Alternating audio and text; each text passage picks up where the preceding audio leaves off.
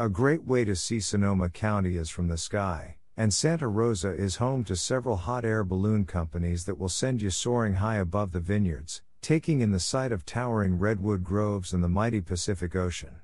Most balloons take off early in the morning to beat the day's encroaching winds and heat, and end with either a sparkling wine toast or a full champagne brunch. You can book a private balloon ride or take to the skies with as many as 16 to a basket, but every flight is one of a kind.